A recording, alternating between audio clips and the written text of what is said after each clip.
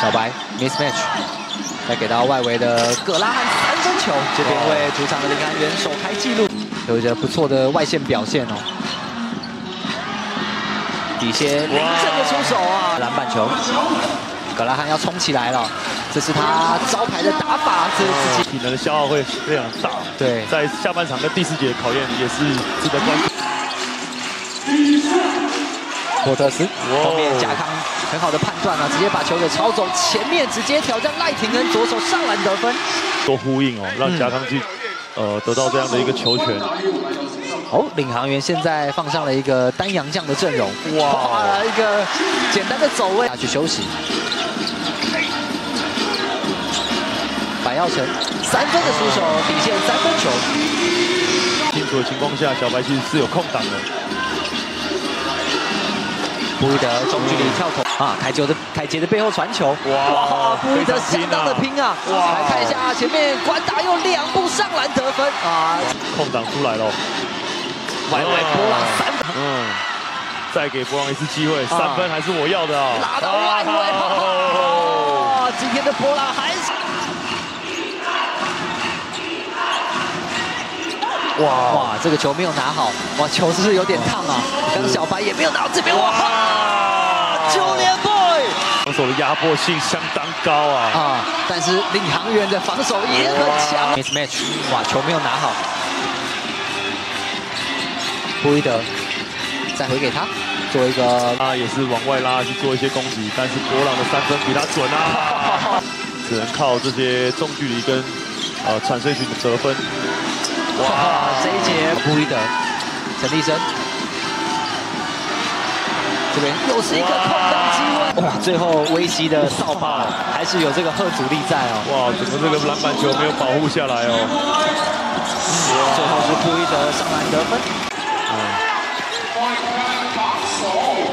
哇又是转换攻击，布伊德最后选择往外交，加康内线的三分球，今天领航员。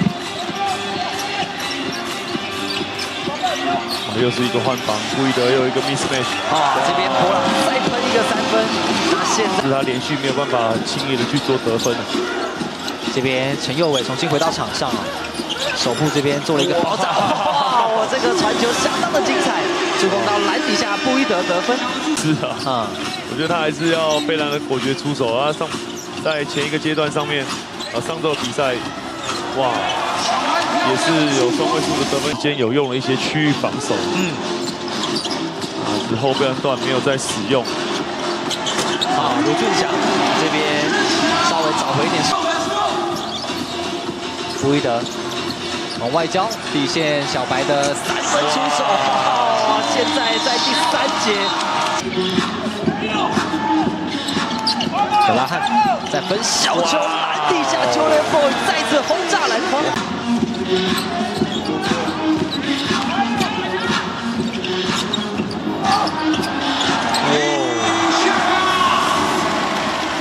丁恩迪上来的话，我也是会这样子鼓励他，没有错。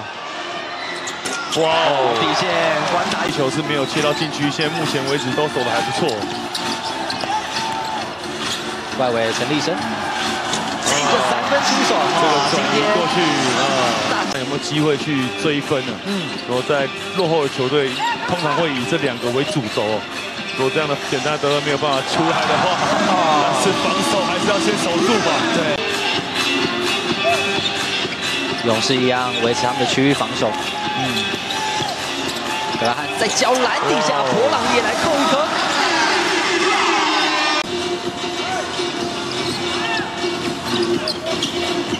小白往外交，格拉汉的三分跳投得分，要赶快跟追上进度啊！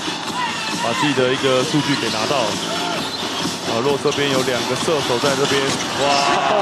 格拉汉在想，今天他可能是得分比较低迷的，直接打一个三分球。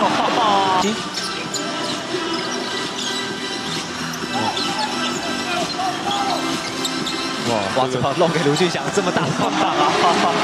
哇！守住胜利啊，追到了十六分差，九七比八十一。外围卢俊祥三分投偏。篮底下小白啊，捡到这一球，白进两分。这个分数不会有太多问题。嗯。让这些年轻球员上来吸取一些这个收官的机会。富邦都没有拿下来哦，确实在这一季的一个库邦想要去挑战冠军这个位置。哇！下半场也是差不多五十分的位置，所以被破百，那这这样子等于说是没有办法去赢球啊。比赛来到最后的一分钟，啊，林航在第四节收尾的表现呢，也是相当的精彩啊。最后时间呢即将到点，恭喜主场的桃园璞园领航一百零五比九十四，十一分的差距收下了主场的开幕战的胜利，同时也是在 Plus。